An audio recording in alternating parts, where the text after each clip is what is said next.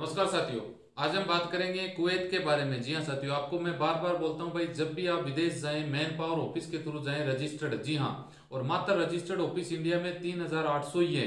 एजेंटों की बात करें तो लाखों है। मोहम्मद हनीस जी हाँ साथियों, उत्तर प्रदेश के पुस्तरगंज का बंदा था। छह महीने से इतना भयंकर तरीके से फंसा कि मरना, मरा तो नहीं, बाकी उसमें कुछ नहीं रहा। जी हाँ मारना, पीटना, वहाँ के शेख के द्वारा किसी एजेंट के थ्रू वो चला गया था। जी हाँ लेकिन अभी इंडिया वापस पहुँच चुका है। उसकी जुबानी हम आपको बताने की कोशिश करेंगे। उन्होंने एक सोशल मीडिया पे एक वीडियो भी वायरल किया था, जो स्मृति ईरानी के थ्रू इंडिया वापस पहुँचा है, क्योंकि वो उनके इलाके की सांसद है। जी हाँ डिटेल से हम बात करेंगे। वीडियो अच्छा लगे तो लाइक शेयर करें। चैनल सब्सक्राइब करके बेल आइकन ऑन कर लें। फेसबुक पेज वाले पेज को फॉलो करके रखें, ताकि हर रोज आपको गल्फ कंट्रीज़ से रिलेटेड से इन्फॉर्मेशन मिलती रहे। तो चलिए शुरुआत कर लेते हैं। 18 जनवरी 2019 जी हाँ साथियों 18 जनवरी के दिन मोहम्मद अनीस बॉम्बे से कुवैत के लिए फ़्लाइट की उड़ान भरी, वहाँ पहुँच गया। उनको एजेंट ने यह बताया कि भाई, आप ड्राइवरी के वीज़ा में जा रहे हो, लेकिन वीज़ा घरेलू था। और घरेलू जॉब कुवैत में, सऊदी में बड़े गंदे हैं भाई। मैंने बहुत सारे वीडियो बना रखे हैं, बहुत सारे लोगों को। आप भी देख लेना। हालाँकि सब भी बुरे होंगे तो इंडियन ड्राइवर काम ही नहीं कर पाएँगे। सब बुरे नहीं होते,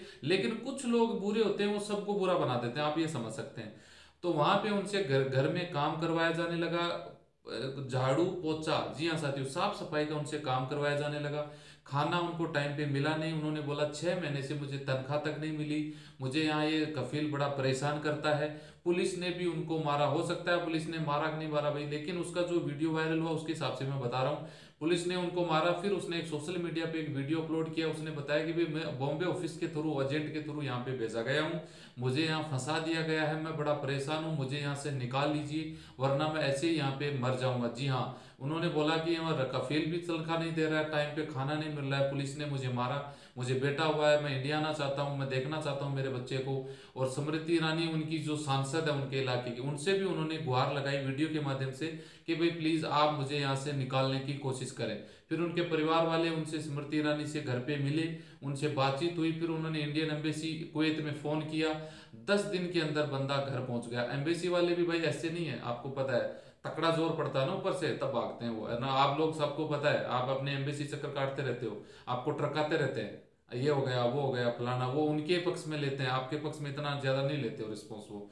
खासतौर से कुवैत की मैं बात करूँ तो लेकिन उनके ऊपर एक सांसद, जो केंद्रीय मंत्री, उनका फ़ोन चला गया तो भाई आपको बताइए फिर।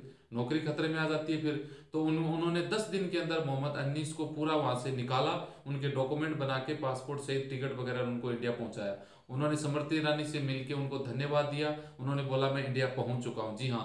तो भाई आपसे रिक्वेस्ट मैं यही करूँगा कि आप है, आप जो फेसबुक यूट्यूब या फिर मैसेज द्वारा पता नहीं कैसे कैसे लोगों के पास आपके कुवैत के कितने वीज़ा आते हैं मेरे मोबाइल पे। लॉकडाउन में इतने वीज़ा है हद नहीं है।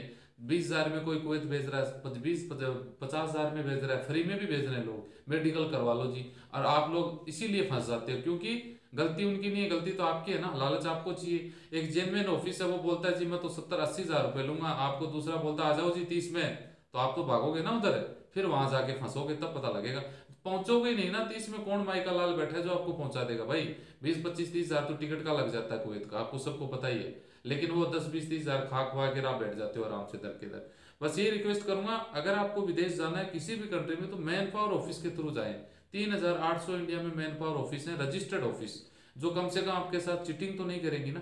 बस ये जानकारी देनी थी। वीडियो अच्छा लगे तो लाइक शेयर करें। मिलते हैं नेक्स्ट वीडियो में, अच्छी जानकारी के साथ। जय हिंद, जय भारत।